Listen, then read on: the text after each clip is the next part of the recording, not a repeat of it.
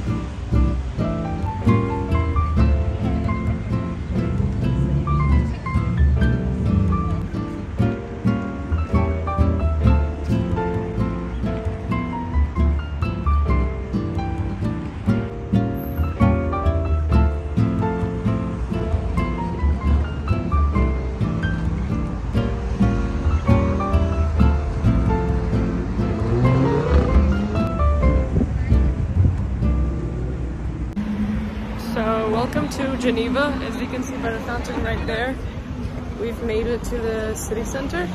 You can see the Geneva lake that you can also see from the city that my parents live in. Also, I did make a mistake earlier. Apparently Geneva does have its own canton, which I didn't know, so I guess you live and you learn. And over there on that side is kind of more of the old part of town. It also has some of the shopping districts as well. So you might go there, but for now, we're just visiting the lakeside and the main attraction of the city, which is the fountain. So, yep.